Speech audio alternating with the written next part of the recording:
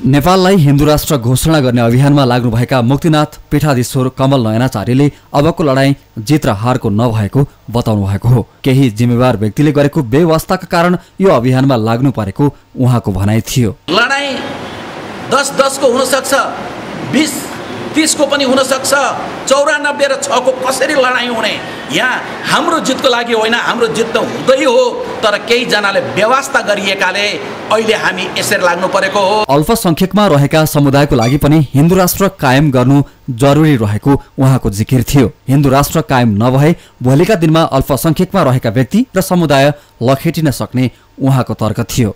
हाम्रो लागि हामीले यो गरेका होइनौँ बल्कि हामीले यो क्रिस्चियनहरूको आरक्षणको लागि मुसलमान बन्धुहरूको आरक्षणको लागि जो अल्पसङ्ख्यकमा हुनुहुन्छ भोलि उहाँहरूलाई देश छोडेर भाग्न पर्ने अवस्था नहोस्। उनका घर नटुटुन् उनका परिवार नबिछडियुन् त्यस कारणले हामी यो अभियानमा पनि लागेका हौँ। जनताको मत लिन विभिन्न स्थानमा पुगेका सभासदहरूलाई इङ्गित गर्दै उहाँले धार्मिक मठ मन्दिरमा जनताको मत नलिएको स्पष्ट पार्दै आफ्नै कार्यकर्ताको माझबाट आएको मागलाई सम्बोधन गर्नु दलहरूको दायित्व भएको बताउनु भयो कैलालीको धनगढीमा धार्मिक सभामा सहभागी हुन शनिबार मुक्तिनाथ पीठाधीश्वर कमल नयनाचार्य लगायतको टोली धनगढी पुगेको हो।